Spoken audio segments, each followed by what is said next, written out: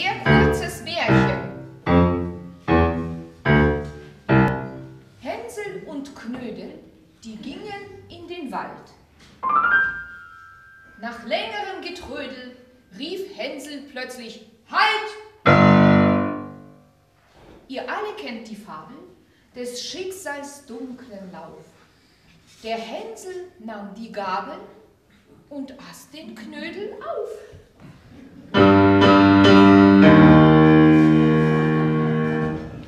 Das war unser Beitrag zum Beethoven-Jahr.